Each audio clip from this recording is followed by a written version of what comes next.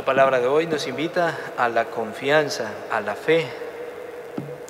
Seguramente el Señor tocando la cabeza de un niño dijo, hasta los cabellos de su cabeza están contados.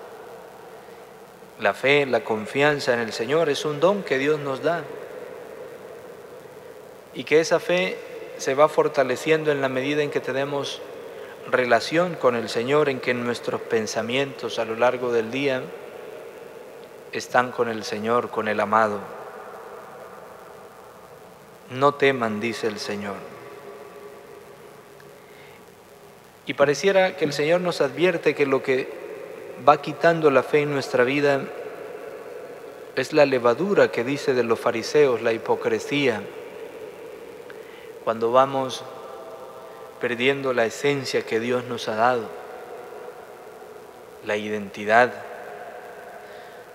Cuando dejamos de ser aquello que Dios pensó tan bellamente con nuestros dones, nuestros carismas, entonces disminuye la confianza en Dios. Y para fortalecer la fe necesitamos del amor de la caridad. Es lo que alimenta la fe.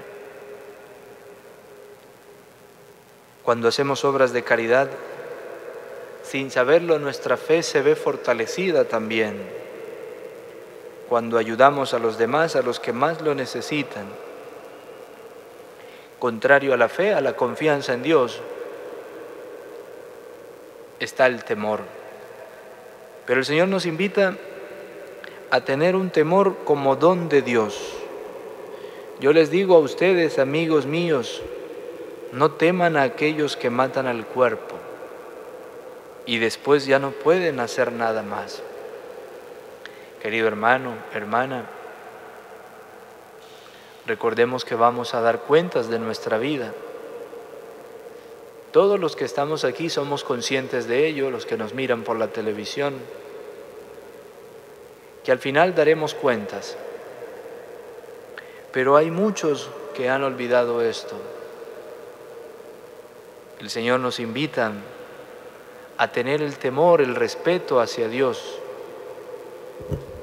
sabiendo que de esta vida que Él nos ha dado, daremos cuenta. Daremos cuentas ante el Creador. Por eso se nos invita a respetar a Dios.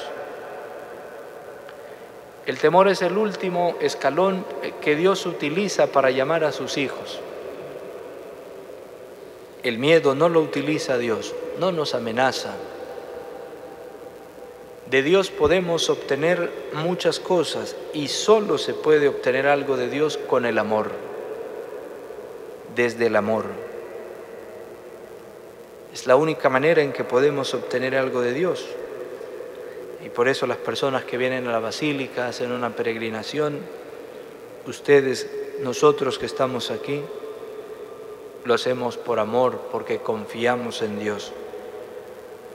Pidámosle al Señor que nos dé esta confianza de que todos los cabellos de nuestra cabeza están contados, que la divina providencia va guiando nuestros pasos día a día y que Dios siempre, siempre, siempre está a nuestro lado. Amén. Amén.